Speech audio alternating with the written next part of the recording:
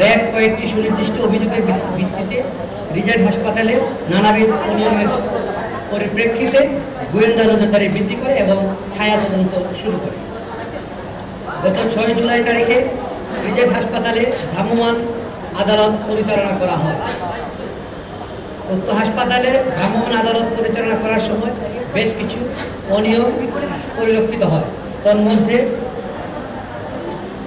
উল্লেখযোগ্য মেয়াদ উত্তীর্ণ লাইসেন্স, করোনা পরীক্ষার ভুয়া সনদপত্র প্রদান, অর্থের বিনিময়ে করোনা পরীক্ষা ও চিকিৎসা, অনুমতি পেতে রেখে রোগীদের বাড়ি হতে নমুনা সংগ্রহ, করোনা চিকিৎসায় অব্যবস্থাপনা,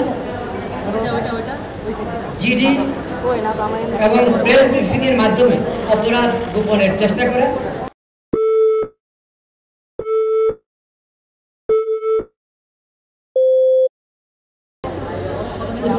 প্যাথোলজিক্যাল সেন্টার স্থাপনের অনুমতি গ্রহণ করে হাসপাতাল পরিচালনা ইত্যাদি। উপরোক্ত অভিযোগের পরিপ্রেক্ষিতে ভ্রাম্যমাণ আদালত রিজেন্ট হাসপাতালের উত্তরা ও মিরপুর শাখা এবং প্রধান কার্যালয় সিলগালা করে দেয়। পরবর্তীতে সতেরো জনকে আসামি করে র্যাব হয়ে নিয়মিত মামলা রুজু করা হয়। রাজধানীর উত্তরা পশ্চিম থানায় এই মামলা আমরা দায়ের মামলার সতেরো জন আসামির মধ্যে আটজনকে গ্রেপ্তার করা হয়, বাকি নয় জন পলাতক ছিল। পরবর্তীতে আট জুলাই দুই হাজার বিশ তারিখে রিজেন্ট হাসপাতালের চেয়ারম্যানের মুখপাত্র তারিকুল ইসলাম ওরফে তারিক শিবলিকে ঢাকার নাকালপাড়া হতে গ্রেপ্তার করা হয়। রিজেন্ট হাসপাতালের চেয়ারম্যান মোহাম্মদ শাহেদের নানা রকম প্রতারণা ও অনিয়মের সংবাদ আপনারা বিভিন্ন ইলেকট্রনিক ও প্রিন্ট মিডিয়া এবং সামাজিক যোগাযোগ মাধ্যমে গুরুত্ব সহকারে প্রচার করেন ফলশ্রুতিতে দেশবাসীর মাঝে অন্যতম একটি প্রত্যাশা হয়ে যায় শাহেদের গ্রেপ্তার। র্যাব তার পেশাগত দায়িত্ব বোধ থেকে এই ব্যক্তিকে গ্রেপ্তারের চেষ্টা অব্যাহত রাখে। এ লক্ষ্যে র্যাবের গোয়েন্দা নজরদারি আরও বৃদ্ধি পায়। ঢাকা সহ দেশের বিভিন্ন অঞ্চলে বেশ কয়েকটি অভিযান পরিচালনা করা হয়। সীমান্তবর্তী অঞ্চলে নজরদারি বৃদ্ধি করা হয়।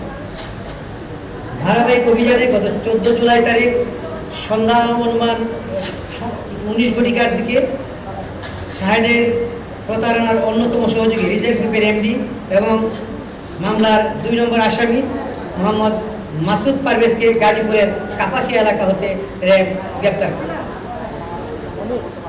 গ্রেপ্তারকৃতকে জিজ্ঞাসাবাদে পলাকি পলাতক আসামি শাহেদের সম্ভাব্য পরিকল্পনা এবং অবস্থান সম্পর্কে গুরুত্বপূর্ণ তথ্য পাওয়া যায়। সে পলাতক আসামি শাহেদের দেশ থেকে কয়েকটি পরিকল্পনা র্যাবকে অবহিত করে। ফলে আমরা সাতক্ষীরা, বেনাপুর, বড়িমারি, সাপাহার বিভিন্ন স্থানে সীমান্তবর্তী এলাকায় গমনাগমনের রাস্তায় আমরা নজরদারি বৃদ্ধি করি। প্রাপ্ত তথ্য যাচাই, বিশ্লেষণ ও পর্যালোচনা করে সাতক্ষীরার সীমান্তবর্তী অঞ্চলে সারাশি অভিযান পরিচালনা করা হয়। উক্ত অভিযানে র্যাবের ইন্টেলিজেন্স উইংয়ের পরিচালক lieutenant colonel Sarwar bin Kashem, BPM সেবা পিএসসির নেতৃত্বে গোয়েন্দা নেটওয়ার্ক সুদৃঢ় করা ইন্টেলিজেন্স উইংসে উইংয়ের পরিচালকের নেতৃত্বে র্যাবের এয়ার উইং গোয়েন্দা দল, র্যাব সিক্সের অধিনায়ক সহ র্যাবের সিক্সের সদস্যবৃন্দ এই অভিযান পরিচালনায় অংশগ্রহণ করে। রেল সদর দপ্তর হতে সার্বিক তত্ত্বাবধান ও পৃষ্ঠপোষকতা করা হয়েছে।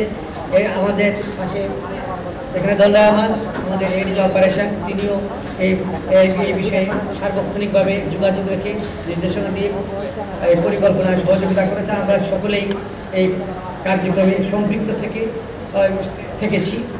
অদ্য বিশ, পনেরো জুলাই দুই হাজার বিশ তারিখ সকাল অনুমান পাঁচটার দিকে রিজেন্ট হাসপাতালের চেয়ারম্যান পলাতক আসামি সাহেবকে সাতক্ষীরা জেলার দেবহাটা এলাকার কুমুরপুর অঞ্চল দিয়ে পার্শ্ববর্তী দেশে পলায়নকালে অস্ত্র ও গুলিসহ তাকে গ্রেপ্তার করা হয়। প্রাথমিক জিজ্ঞাসাবাদ শেষে তাকে ঢাকায় পরবর্তী কার্যক্রমের জন্য নিয়ে আসা হয়।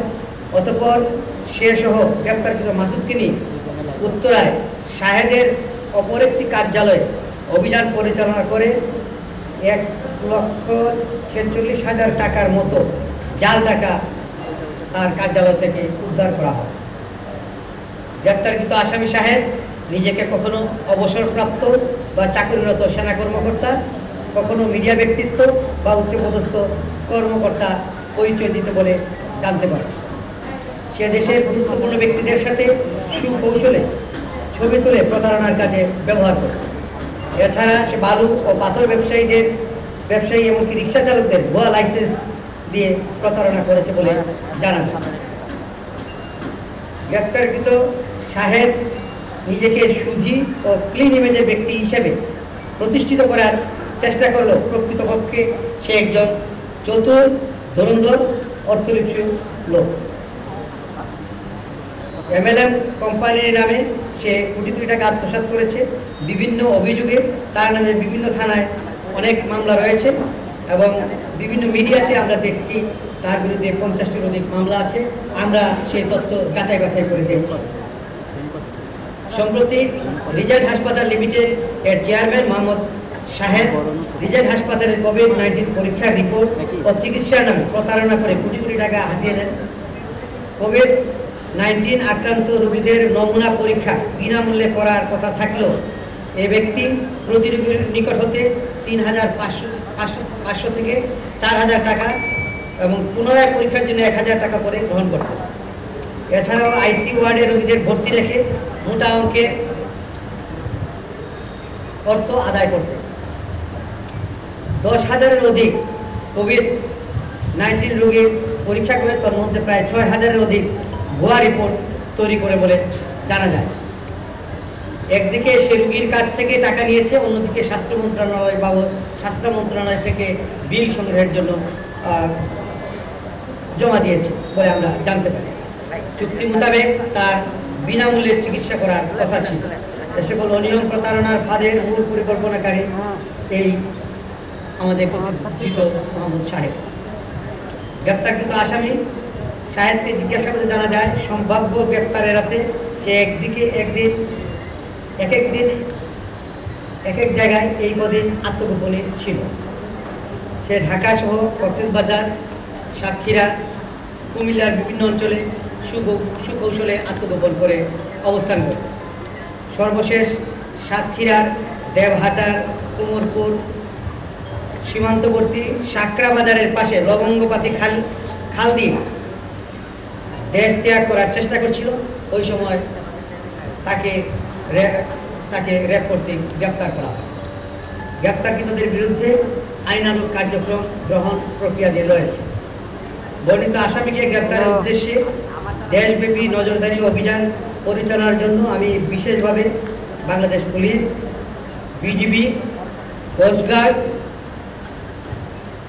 ও জনগণের সার্বিক সহযোগিতা এবং গণমাধ্যম কর্মীদের যে সব সকল সময়ের যে সহযোগিতা এই জন্য সকলের প্রতি আমি ধন্যবাদ এবং কৃতজ্ঞতা জ্ঞাপন করে আমি আমার আনুষ্ঠানিক বক্তব্য শেষ করছি। আপনারা জানেন যে তার বিরুদ্ধে আমরা বলেছি, তার বিরুদ্ধে কতগুলো মামলা আছে। উনি কি মানের প্রতারণার কাজ করতে পারেন যা জাস্ট একটা ধারণা আপনারা পেয়েছেন তার মামলার সম্পর্কে।